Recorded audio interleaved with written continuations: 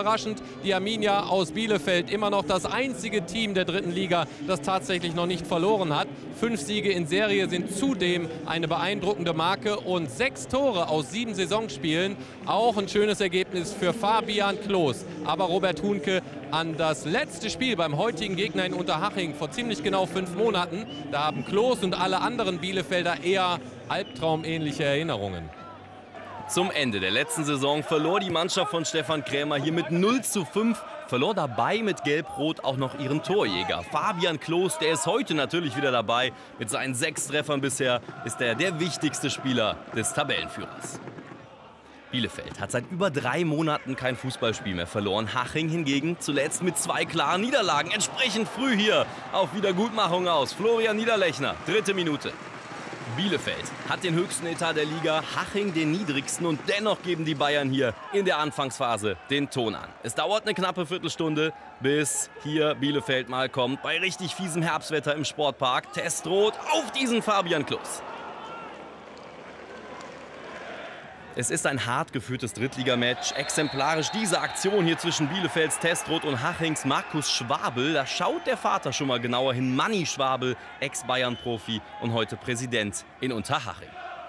Es ist eine Partie, die auch viel Leerlauf hat. 35 Minuten schon gespielt, die Ostwestfalen sehr, sehr passiv. Haching hingegen ballsicher. Und wie? Da kommt Dominik Roacker. 1-0. Bielefelds Pomadigkeit wird bestraft. Weil sie Hachings Direktspiel nicht zustellen und die mit einem Kontaktfußball zur verdienten Führung gelangen. Die Gastgeber haben aus den letzten zwei Spielen 0 zu 6 Tore mitgenommen, zeigen sich davon aber völlig unbeeindruckt hier. Das ist Markus Schwabel auf Maximilian Welzmüller und der mit einem Herbstspaziergang durch die Bielefelder Abwehr fetzen. 2-0. Was ist denn hier los? Nur drei Minuten nach dem ersten Tor. Bielefelds Marcel Abja hat zwei Gegenspieler. Das ist einer zu viel. Er muss auf den Ballführenden zu spät dran. Und auch Platins im Tor sieht kurz vor der Pause unglücklich aus. Die beiden hier nicht, trotz des gefühlten Herbstbeginns in Oberbayern. Die zweite Halbzeit braucht 10 Minuten, um ins Rollen zu kommen. Die Arminia hier erstmal auch pomadig, dann aber mal eine Tempoverschärfung. Jerat und da ist Fabian Klos, Tor! Anschlusstreffer in der 56. Minute. Und auch wenn die Kamera den Vorlagengeber einfängt, die Fans, die Mitgereisten aus Bielefeld, freuen sich natürlich vor allem über den siebten Saisontreffer von ihm hier, von Fabian Klos. Der Führende der Torjägerliste hat da alle Zeit der Welt und dann gib ihm.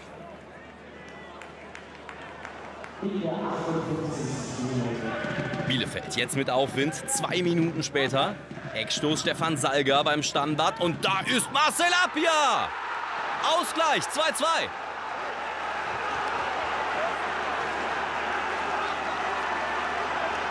Wahnsinn, mit wie viel Willen der Tabellenführer hier rankommt wieder in der zweiten Hälfte.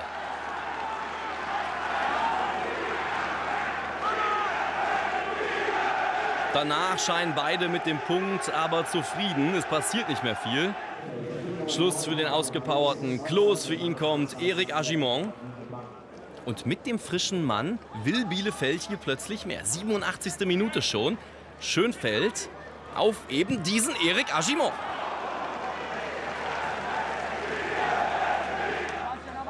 Das junge Team von Haching will jetzt aber auch mehr. Bielefeld aufgerückt. Starker Pass. Das tut jetzt natürlich weh. 89. Minute. Manuel Fischer. 3-2 gibt's nicht. Die erneute Führung für die Gastgeber durch den eingewechselten Manuel Fischer. Kein Abseits.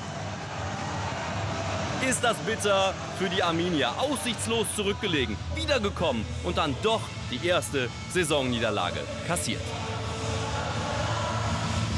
Erste Niederlage also für Arminia Bielefeld, aber oh Wunder, sie bleiben trotzdem ganz oben in der dritten Liga. Und eigentlich hatten wir an der Spitze ja von Anfang an den Zweitliga-Absteiger aus Aachen erwartet, aber für die Alemannia, da